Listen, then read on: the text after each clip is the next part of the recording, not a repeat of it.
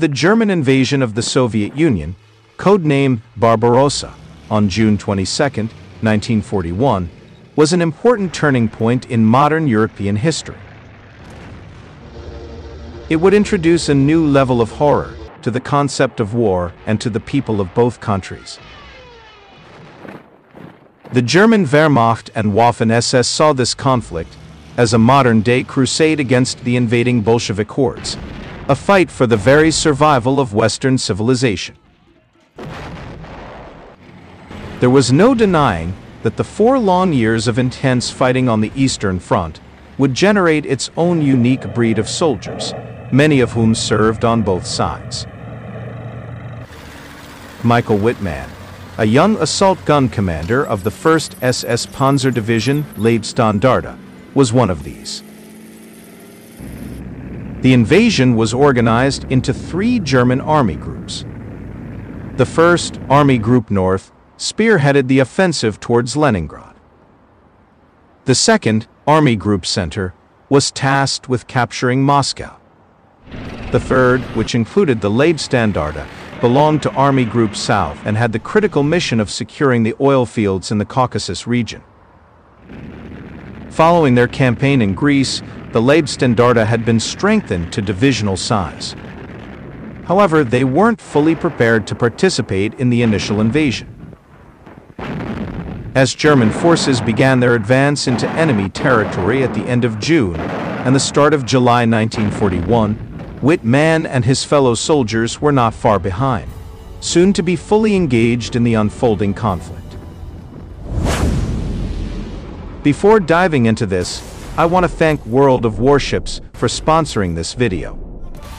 If you didn't already know, this is a free-to-play game available for PC with insane graphics, more than 40 different 12v12 arenas, and more than 500 ships across five different classes. The game has new content releases every month, whether it be new ships, nations, cosmetics, or even new ship classes. Expect something new and exciting every time you dive into the game. With a selection of over 40 unique maps featuring dynamic weather, new water effects, and textures, the game's oceans closely resemble real-life settings.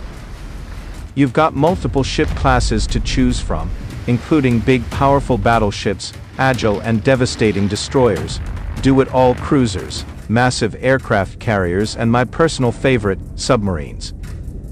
This game revolves around strategy and knowledge. The ever-changing weather conditions and objectives can significantly influence your gameplay. The game is also available on consoles, completely free. So download World of Warships right now using the first link in the description. Be sure to use the promo code BRAVO during registration to receive a huge starter pack, including 500 doubloons, 1.5 million credits, 7 days of premium account time, and a free ship. There's a lot of stuff here, so you definitely want to go check that out. While it became evident that Hitler and the German Army High Command had underestimated the Soviet Red Army's strength and organization. The initial victories provided ample encouragement to the invading forces. By the start of July, German divisions were swiftly advancing through the Ukrainian steppes, seemingly conquering all obstacles in their path. Michael Wittmann's Stug 3 assault gun also played part in contributing to this success. On the 12th of July, Wittmann's Stug 3 received orders to relocate to a strategic hill known as Point 65.5. Upon reaching their destination and narrowly avoiding a ditch, SS Sturmmann Bruggenkamp, Wittmann's gunner, noticed a group of enemy vehicles rapidly approaching. Wittmann peered ahead through the binocular telescope, observing the activities unfolding at the western edge of the hill. Having repositioned their vehicle to gain a more advantageous viewpoint, Wittmann and his crew spotted a total of 18 T-34-76 tanks, divided into two groups, with 12 in one and 6 in the other. Wittmann then instructed his driver SS Unterscharführer Fritz, to move the vehicle to the left side of the hill. Wittmann and his crew braced themselves for the impending clash, aligning their assault gun to confront the advancing Russian armor head-on. Following another repositioning to secure a commanding view over the hill, Wittmann took charge and issued orders. T-34 ahead of us, load armor piercing, enemy tanks to the right, open fire. A shot resounded through the air. With his forehead pressed against the periscope, Wittmann kept his gaze fixed on the T-34. He witnessed an armor-piercing shell hitting the turret, causing it to ricochet high into the air. The second shot yielded the same outcome. At that moment, the first enemy shot sailed over the assault gun, missing its mark. The first T-34 in their sights was then struck twice more. Cursing the inefficiency of the short-barreled 75mm gun against enemy armor, the gunner exclaimed, Damn it, we can't penetrate their armor. What a useless gun we have. When two more T-34s emerged, the commander issued an order, aim at the tracks and other weak spots. The first shot successfully damaged the track of the leading tank. Due to the Stug's lack of a rotating turret, the entire responsibility fell on the shoulders of the driver, Fritz.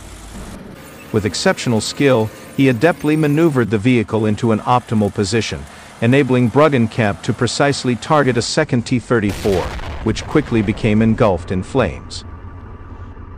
In a matter of seconds, the loaders swiftly inserted the next round into the hot and oily breech. Looking through the scissors, Wittmann spotted one of the enemy tank turret aimed in their direction, ready to fire at any moment. Then he ordered to turn right and accelerate at full power. The assault gun surged forward, and at that precise moment, the enemy opened fire. The shell narrowly missed, passing just two meters behind the assault gun. Thanks to its low silhouette, the Stug presented a small target for the enemy tank gunners. Following a narrow escape from another T-34, and with a Russian gunner who had rather poor aim, Wittmann managed to reach the edge of a small forest, where he could strategize his next course of action. While conducting a quick reconnaissance on foot, Wittmann noticed a third enemy vehicle. Believing he had remained unnoticed, Wittmann was taken by surprise when a deafening crash resonated in his vicinity. After dusting himself off, he discovered a demolished T-34, its turret blown off and now protruding from the ground like a flagpole. The crucial factor in this situation was clearly Bruggenkamp's remarkable powers of observation, quick thinking, and exceptional gunnery skills. Although both vehicles had fired simultaneously, Wittmann's gunner had demonstrated the presence of mind to locate, aim, and strike the target. Upon returning to his cupola, Wittmann was the first to commend his skilled gunner. In the aftermath of yet another close encounter, with two wayward shots from a passing T-34, Wittmann promptly identified another Soviet vehicle kicking the Maybach engine, Fritz expertly guided the Stug 3 to position to allow Bruggenkamp for a clear shot at the enemy tank. In an instant, the fourth Russian tank was obliterated. Following another tense encounter, skillfully navigated by Fritz through a deceptive water crossing, Wittmann embarked on a mission to find the three Russian vehicles he had observed earlier. Upon scanning the surroundings, he spotted the trio of T-34s positioned on top of a hill, with their engines humming. With a rapid maneuver by Fritz, the Stug 3 closed the gap to within 500 meters of the remaining Soviet tank. In quick response to Wittmann's command, Bruggenkamp fired a 75mm armor-piercing round, which struck the Russian vehicle with a resounding crack. the remaining T-34s swiftly shifted their aim toward Wittmann's vehicle, prompting Fritz to urgently reposition the Stug 3.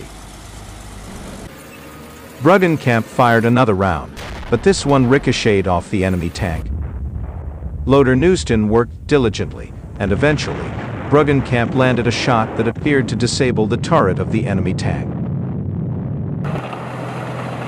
Meanwhile, the 3rd T-34 had opted for a hasty retreat to safety. As Wittmann and his crew began to disengage, they were taken by surprise when the turret of the 2nd T-34 suddenly sprang back to life. Peterson promptly loaded another round into the breech, and the ensuing shot caused the Russian vehicle to erupt in flames, with its crew desperately attempting to flee the inferno. On this day, Wittmann and his crew displayed tremendous courage in facing a pack of superior T-34s alone and annihilating six of these vehicles. Even when employing AP ammunition, the low muzzle velocity of the main gun often couldn't deliver enough energy to penetrate the thick armor of the newer Russian tanks. Nonetheless, Stugs managed to destroy the latest Soviet heavy tanks despite this technological limitation. Other compensatory factors came into play, chiefly the exceptional technical competence of Stug crews. Rigorous training had honed their skills, allowing them to combine the Stug's mobility with precise and rapid gunnery. They excelled at delivering the initial shot and fully leveraging the machine's inherent advantages, including its low profile and relatively heavy frontal armor. On the evening of July 12, 1941, both Wittmann and his driver Fritz were proudly awarded the Iron Cross Second Class by a jubilant SS Obergruppenführer Sepp Dietrich. For Wittmann, this marked the beginning of a series of battlefield decorations that would follow. This newly decorated Stug 3 commander received a warm reception from his devoted crew, solidifying the fact that a true warrior had emerged.